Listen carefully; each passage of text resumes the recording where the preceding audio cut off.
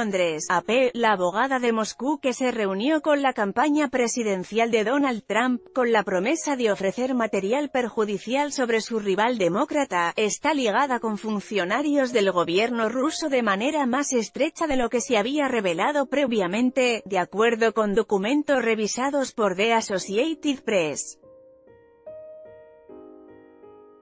Decenas de correos electrónicos, expedientes y legajos describen a Natalia Veselnitskaya como una abogada bien relacionada que se desempeñó como escritora por encargo para abogados del gobierno ruso y que recibió ayuda de altos funcionarios del Ministerio del Interior en un caso que involucró a un cliente clave.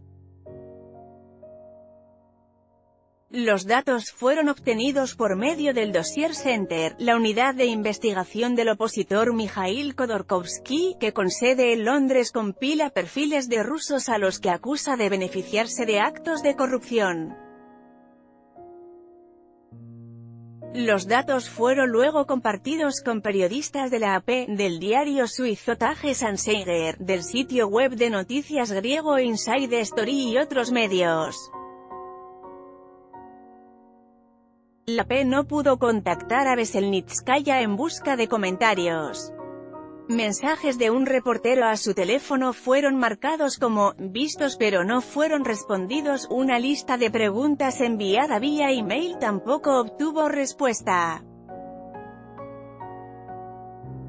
Veselnitskaya ha estado bajo escrutinio desde que se dio a conocer que el hijo mayor de Trump, Donald Jr., se reunió con ella en junio de 2016, después que un intermediario le dijera que ella era una representante del gobierno ruso y que ofrecía ayuda de Moscú para derrotar a la candidata rival a la presidencia estadounidense, la demócrata Hillary Clinton.